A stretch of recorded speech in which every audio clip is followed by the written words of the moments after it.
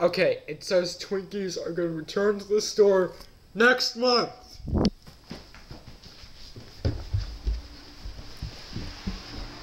Sorry, it's a little dark.